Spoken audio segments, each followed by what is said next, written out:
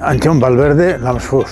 Nere aitak erabaki zuenean, berak euskaraz ikasi bertzuela, oso ez demokratikoki erabaki zuen izian denak euskaraz inbergen nola. Ordutik aurrera izan da netzako mundu hartzako behikulorik onena. Behin nere aitakin joan nintzen, e, bera bidazoara. Han jaialdi bat zegoen, Benitok kantatu zuen, Lourdes Iriondoke bai, Xavier Lete.